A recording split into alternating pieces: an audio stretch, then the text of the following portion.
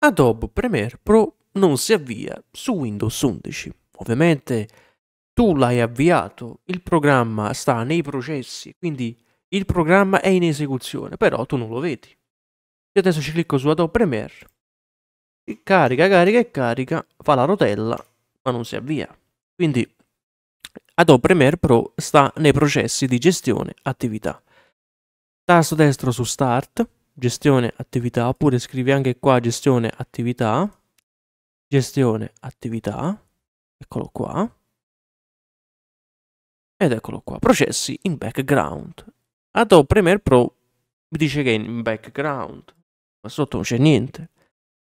Termino così l'attività. Ci sono altri Adobe Premiere Pro attivi, chiudili, tasto destro sopra e fai termina attività. Chiudiamo qua e vediamo se si avvia. Ed ecco che Adobe Premiere Pro si è avviato su Windows 11. Se invece hai altri problemi che Adobe Premiere Pro non si avvia, commenta sotto al video, in futuro cercherò di fare altre guide su Adobe Premiere Pro. Grazie a tutti per questa visione e noi ragazzi ci vediamo ad un prossimo tutorial. Ciao!